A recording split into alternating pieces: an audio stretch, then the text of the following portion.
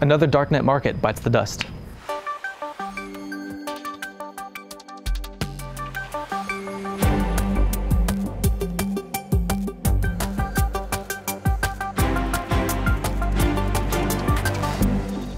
So, Andy, I've heard you got something for us about some takedowns on the dark web.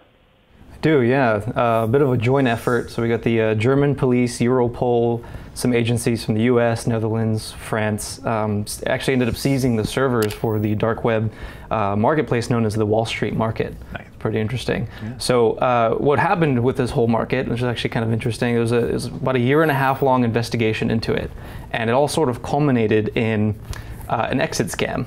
Uh, which, for those who don't know, an exit scam is where you basically take people's money and you don't give them what they're paying for, essentially. Oh yeah, you close down your market and anything that's in the balances for any of those accounts is, you take it. is now yours, yes. And that's exactly what they were doing. So the main wallets that they were using for payments, they were actually using a sort of an escrow system where users would pay into that wallet and then the vendors could actually pull out of it once the transaction had gone through. Mm-hmm. So there was some, you know, some uh, security there. What they were doing though is they were taking the balance of those wallets and they were shipping them off to different wallets.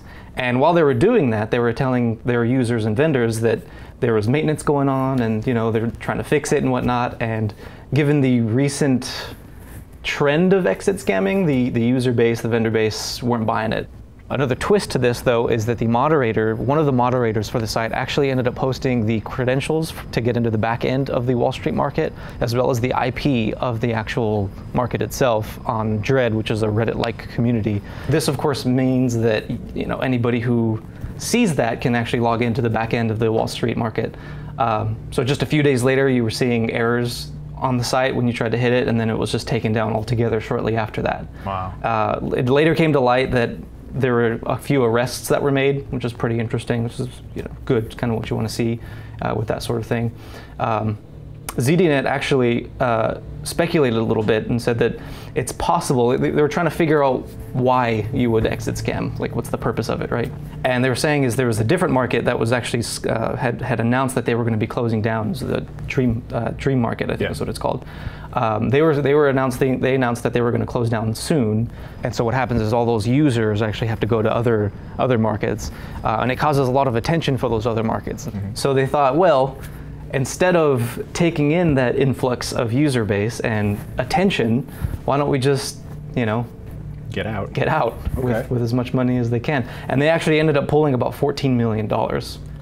Worth of stolen crypto. So from everything you've described so far, it sounds like this all could have happened in a vacuum. You know, people on the market, people trying to um, blackmail people on the market. Where does law enforcement fit into the big picture here?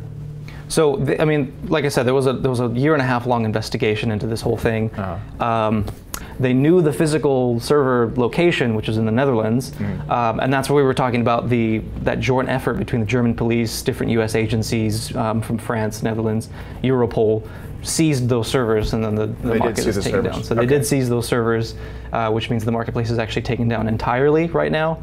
Uh, unlike some other darknet markets, which are still up, mm-hmm. but are you know maybe maybe they're honeypots now.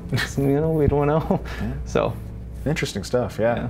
It was always kind of wild to see how these things shake out, especially that you've got like a takedown that seems to be almost coinciding with the internal collapse of the market itself and, and all that other stuff going on. So that's that's pretty wild. Yeah, a lot of lot of stuff going on, definitely. Chris, what's your take? Yeah, it's been really interesting seeing the rise and fall of all those dark markets over the years. I mean, a Silk Road going down when the the guy that was writing was asking for help on Stack Overflow to write a dark market and then getting caught. And then, as you mentioned, you know, the honeypot markets like Hansa being run by the Dutch police for a while to trap people in there.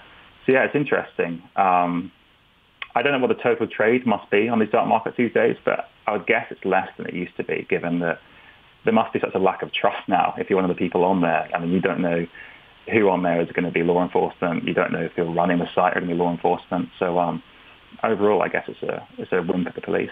If you've got a site that's being potentially run by law enforcement and no one quite knows if that's the case or not, then no one really trusts that they can do business there. And hopefully that, that serves to shrink the size of the, the markets that are, that are out there.